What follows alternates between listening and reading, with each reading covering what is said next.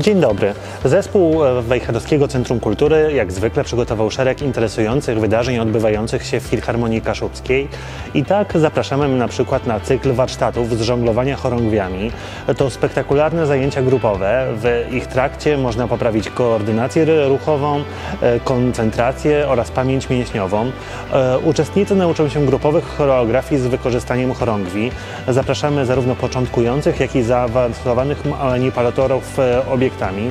E, Zajęcia poprowadzi znany choćby z programu Mam Talent Sebastian Frodyma.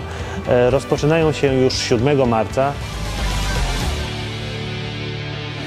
Tego samego dnia na scenie Filharmonii Kaszubskiej wystąpi też e, Andrzej Rybiński. E, Zważywszy, że koncert odbędzie się na chwilę przed Dniem Kobiet, bilet na to wydarzenie może być idealną okazją, by zacząć świętować już nieco wcześniej.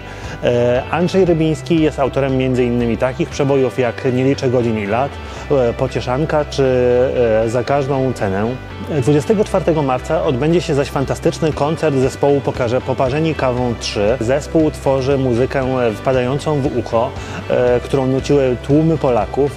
E, Znakomite teksty, między innymi do takich przebojów jak Byłaś dla mnie wszystkim, We- Wezmę Cię czy Okrutna, Zła i Podła, e, pisze Rafał Bryndal. Muzykę zaś określaną jako miks e, ska, rocka i miejskiego folku komponują sami poparzeni. Z pewnością będzie to niezapomniany koncert, który porwie Państwa do fantastycznej zabawy. Przed nami też niesamowite wydarzenie pod koniec marca.